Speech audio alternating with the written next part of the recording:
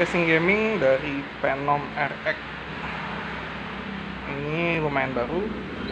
Phenom RX Lumina. Front panel dilengkapi dengan LED strip. Ada dust filternya juga. Terus untuk LED nya ada berapa model yang bisa kita ganti.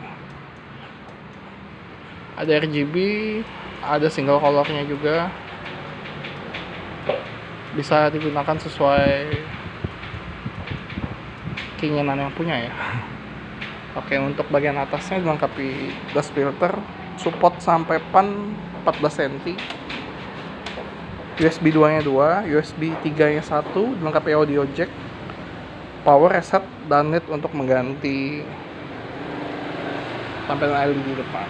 Oke untuk di bagian dalam support sampai ATX dapat lagi satu pen tapi yang biasa 12 cm nggak ada LED nya ada VSU covernya juga. Uh, bisa buat naruh SSD di sini. Kira-kira ada dua slot. Untuk di bagian belakang